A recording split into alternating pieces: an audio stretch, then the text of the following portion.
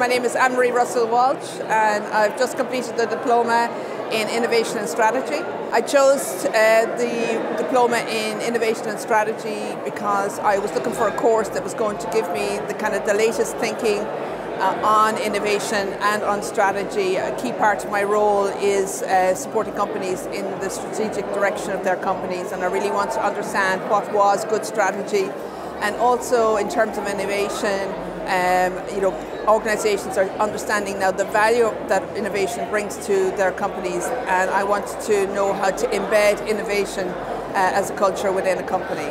So for those reasons, I picked the diploma in innovation and strategy. So as I said, I'm working with, with uh, companies in, in a business advisory role, and a key part of that role is to support companies in their developing their strategic direction. So having that deep, in-depth understanding the theory of what is good strategy and what does good strategy look like and supporting those companies to deliver that into their businesses.